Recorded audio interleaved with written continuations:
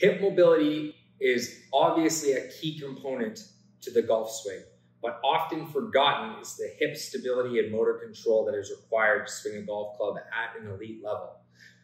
Hip stability and motor control in a compromised position is something that we neglect often, and it can be a really big limiter to your golf swing. One of the key components to in initiating the swing is the turn of the pelvis. That comes from being able to control your hips from a stretched position. So while we want to focus on making sure your hips can get to those positions with mobility work, we want to complement that with some stability and motor control work around the hip so that when you get into that really good backswing, you now have the power to initiate a great swing forward. So let's talk about some drills that we can do to increase uh, hip stability and motor control. We did this shin box exercise as part of our mobility programming. Now we're going to alter it a little bit to make it a stability and motor control drill. What you're going to do from the shin box position is you're going to make sure the box is closed, meaning your front foot, uh, sole of your foot is going to be pressed against your back knee. So you want to make sure that box is closed nice and tight. Then what you're going to do is keeping your core tight, ribs down, abs crunched, you're going to drive through both knees and sit up nice and tall. This is a really difficult move. So if you have an issue with this at first, I want you to take a uh, a stick, a dowel, or a golf club, something that you can push down into the floor, and you're going to put that in front of you to use as assistance like an ice pick. So you're going to push your assistive device down into the floor to help yourself sit up.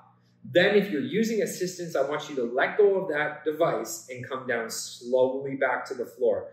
Take your time, three to five seconds on the way down, and you're going to repeat that. So you can ice pick your way back up with a, a dowel, a broomstick, a golf club, and then you're going to lower yourself back to the ground uh, without assistive devices at all. Now, when you get really good at this, you can add a weight, like a kettlebell or a dumbbell, at your chest goblet style, and be able to push yourself up into tall and then sit back down nice and slow and control. This exercise, I would do 8 to 12 reps per side, and I would do 4 to 5 sets of this drill. Now, what we want to do from this position is get up and start working on hip control and stability while standing. And one of the hallmark drills that we can do for this is a single leg hip hinge or a hip airplane. Now, again, like the shin box, we can use assistance like a dowel, a golf, golf club, or um, a door frame to do this exercise. Uh, and we want to start to eliminate that assistance as soon as possible. So what you're going to see here is I'm going to stand on one foot, slight bend in my knee. And then from that point, my knee is going to stay fixed. So we don't want you squatting down to the ground. I don't want you bending through your knees. All you're going to do is you're going to kick that back leg back behind you, hinge forward at the hips to a tabletop position or an airplane position, and then you're going to stand up nice and tall. Now, the big key in this drill is you want to make sure your hips don't open up to the side so that one butt cheek is higher than the other. You're going to see me emphasize this in the video where I cheat and you're to see how my pelvis starts to slant. I want you to make sure your belt line stays totally flat as you hinge forward at the hip and then stand up tall. This is an exercise where I would prefer you to use assistance and do it right than muscle your way through an exercise that you can't do well yet.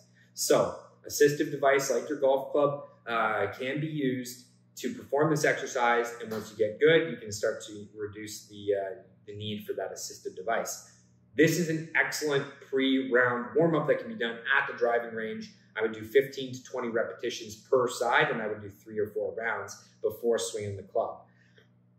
Now, moving from here, we're gonna do a strength and conditioning drill that's not so much about building up strength as it is about building control in an extended position around one leg. So really we're taking this single leg hip hinge and now we're adding a weight. So I want whatever you use to be heavy if, uh, if you have access to weights at home, something that's on the heavier side. If not, uh, a grocery bag filled up with as many things as you can find to increase the load works quite well. Um, a five gallon pail of water can work really well as, uh, as a weight in this movement. Um, but all we're going to do is get into that split stance position, front foot forward, all your weight on the front foot, your back foot is a kickstand, and keeping your belt line flat or your, your low back neutral, you're going to hinge forward at the hips to grab your weight and then stand up nice and tall. When I say tall, I mean make sure you come right up to tall like you're balancing a glass of water on your head. A lot of times you're going to stop halfway into that cheated end of position. So make sure you get all the way to the ground, all the way back up, and you're trying to make sure you can extend your hips through the top. you're going to do 8 to 12 reps per side of this exercise and another four or five rounds as part of this workout routine. Now, the final exercise that we have here is another developmental kinesiology movement. We did a lot of developmental kinesiology in the shoulder stability series, and now you're seeing it come up in the hip stability series again. That's because developmental kinesiology is the science behind human development, and this is how you learn to rotate your hips and stabilize your pelvis uh, when you were uh, seven to eight months old. So, starting in a shin box position, you're gonna put your arms out like a T, fall to the side on one hand, and then drop down to your elbow. Now you'll be in the starting position for this exercise. Make sure at this point you pick your ribs up so that your spine lines up. I want a straight line from your nose to your belly. From here, you're gonna roll your hips just so slightly forward, push down through your bottom knee, and lift your bum up off the ground behind you. And then just like the shoulder exercise and just like the shin box, Coming down slow is the most important part of this exercise. So you're gonna roll forward, drive through your knee, lift your hip, and then you're gonna slowly come back down to the ground and repeat. This exercise, I would do five to eight reps per side and four to five rounds as well. Those four exercises should pro provide you a really good base of stability coverage for your hips if you find that you've gotten excellent hip mobility from our hip, our hip mobility series and now you want to progress to controlling that mobility and driving the ball just a little bit further.